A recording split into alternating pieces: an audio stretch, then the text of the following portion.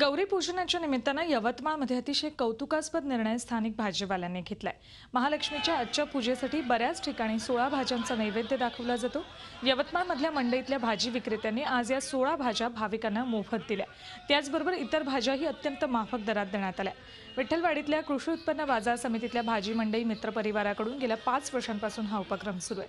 भाजी व्यवसायातील जवळपास शंभर दलाल आणि हमाल या सामाजिक उपक्रमात सहभागी होतात.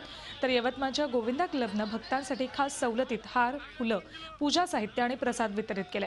महालक्ष्मी पूजनाला धार्मिकदृष्ट्या विशेष महत्त्व आहे. जवळपास पाच लाखांची उलाढाल भाजी मंडईत होत असते. पण गौरीच्या या दिवशी दोन लाखांचं नुकसान सहन करून भाजी विक्रेते हा निर्णय घेतात.